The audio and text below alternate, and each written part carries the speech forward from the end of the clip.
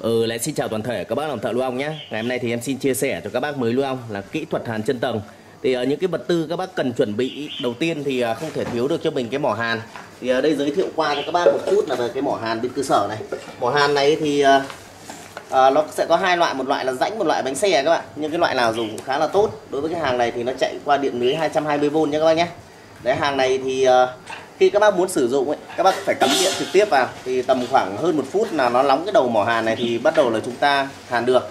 Cái thứ hai nữa là một cái miếng gỗ như thế này để vừa trong cái khung cầu này các bác này. Đó để phải để vừa trong khung cầu này. Đó và một cái uh, ghế để kê đây một miếng ván thôi. Còn uh, những cái cầu các bác chuẩn bị thì ở đây nó có cái cầu đã căng dây bắn ghim này. Đó và chân tầng. Đây là chân tầng. Đấy còn hàng thì uh, bác nào mà đang có nhu cầu sử dụng về cái mỏ hàn này này Đấy, giá của nó chỉ hơn trăm nghìn thôi. Đấy, hoặc là cái chân tầng sắt lần chân tầng uh, nguyên chất loại một này. Đó hàng vàng rất là đẹp. Đấy, phấn ờ, uh, sáp cỏ nhiều. Đấy, rất là dẻo. Đấy, thì các bác có thể là tham khảo đặt hàng vào số điện thoại để góc màn hình video. Là bên cơ sở nhà em là bán tất cả những cái vật tư về ngành nuôi ong nhé.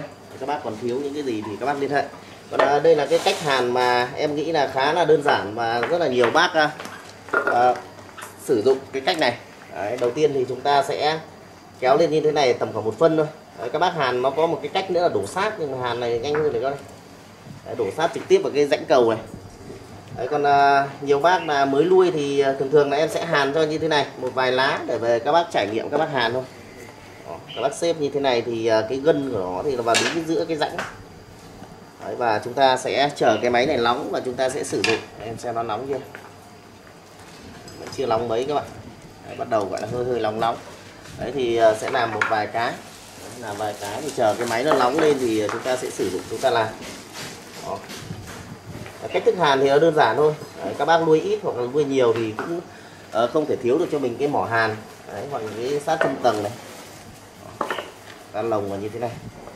Đấy, còn uh, nhiều bác thì à, mới nuôi không biết làm ấy thì thường thường là ví dụ các bác có mua mỏ hàn hoặc là thùng nuôi ong chẳng hạn thì em sẽ hàn cho ví dụ đặt chục cái chẳng hạn về thì em sẽ hàn cho tầm khoảng hai ba cái làm mẫu. Đấy gửi đi thì ờ, nó sẽ không no là bị kiểu như nào à, sóc hỏng mất của các bác. Đấy còn nhiều bác là đặt trần xì không. Đấy độc cầu hàn trên tầng thì, ờ, thì em không gửi được bởi vì cái đấy không biết bọc bao vào đâu cả. Đấy gửi về nơi thì nó cũng hỏng hết. Thì, ờ, ví dụ các bác mà muốn à, sở hữu như như thế này là chẳng hạn làm xong rồi thì thường thường là em các bác sẽ mua thùng ong. Em bỏ cái thùng ong thì nó chắc chắn hơn. Thế bây giờ chúng ta sẽ triển khai là hàn Đấy, khả năng là máy bắt đầu nóng rồi. Thì các bác xếp làm sao mà cho cái đầu sát này nó vừa khít với cả cái đầu cái cầu trên. Đấy, chúng ta sẽ tiến hành chúng ta hàn cái máy bắt đầu nóng rồi. Hàn thì cái này sát nó sẽ chảy ra này. Chảy ra nóng và nó sẽ ôm trực tiếp vào cái miếng gỗ bên dưới. Đấy, cái miếng à, xà cầu của các bác.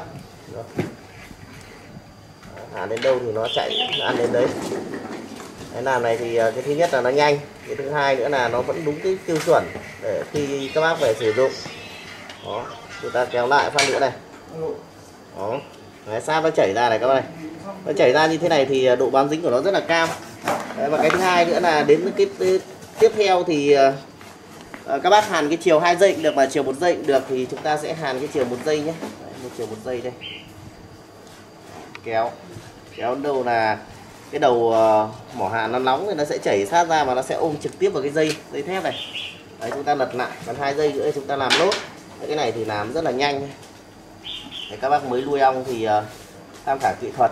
Đấy, và thì chúng ta uh, có thể là mua sáp dự trữ hoặc là khi các bác cần thì các bác làm luôn nó tiện. Đấy, không nhiều lúc là cứ phụ thuộc vào cơ sở là nhiều lúc là gửi hàng về nó ba bốn ngày nó mới tới lơi thì về thì nhiều khi là đàn ong của các bác nó chia mất rồi. Đấy, như thế này là xong này các bạn này rất là đẹp đúng không thì là ok. Đấy, bên trái những cái tiếp theo thì à, em sẽ hàn. Còn cái đơn ngày hôm nay thì à, cái đơn này thì bác cái đặt 5 cái thùng ong và 15 cầu đã hàn sẵn chân tầng. Đấy thì em làm cho các bác. Đấy, để về các bác à, đấy, thả ong. Đấy, cũng như là sang ong sang ấy thì uh, các bác uh, sẽ có cái kinh nghiệm khi mà nhìn thấy em hàn rồi. Thì về các bác làm thì nó sẽ dễ hơn. Đấy, còn uh, trong cái giai đoạn này thì uh, bên cơ sở nhà em thì bán uh, những cái vật tư uh, vẫn rất là mạnh. Ví dụ như là uh, chân tầng này hình nuôi ong hoặc là những cái đồ bảo hộ ở trong cái thời điểm mà uh, khai thác mật vụ hè này các bác. Đó, tiếp tục. Đấy, cái nào nó gồ thì các bác có thể san đều nó ra để chúng ta làm nó sẽ đẹp hơn đúng không ạ? Đấy, rất là đơn giản thôi. Nói chung là cứ làm này thì ví dụ buổi chiều thì cũng hàn được khá khá đấy nhưng mà nó nhiều công việc đấy, cũng nhiều lúc là muốn hàn cho các bác hết. Đấy, công xá thì nó không có đâu nhưng mà muốn hàn cho các bác hết nhưng mà nó không không đảm bảo cái thời gian để đóng hàng còn nhiều các bác khác đặt hàng nữa. Đây các bác này. Đấy, như thế này là đã xong ok này nó dính rất là chắc. Thì à, em sẽ đóng trực tiếp vào à, cái thùng nuôi ong ấy. Thì em sẽ bó băng dính thì nó chuẩn. Đấy thì về các bác là chỉ việc à, à, vào cầu như thế này thôi thì con ong ờ, đàn đang phát triển thì nó gặp cái cầu này thì nó sẽ xây luôn. Ví dụ thường thường thì ví dụ sáp ờ, tốt nguyên chất như thế này tầm khoảng 3 hôm. Đấy 3 hôm là nó sẽ xây cươi bằng. Đấy, một video thì uh, chia sẻ cho các bác đã mới nuôi ong nhé Đấy, kỹ thuật hàn chân tầng. Các bác nào xem được video thì uh, đăng ký ủng hộ kênh cho em. Còn bác nào mà đang có nhu cầu mua về những cái vật tư thì liên hệ để số điện thoại có màn hình video. Bây giờ chào các bác nhé.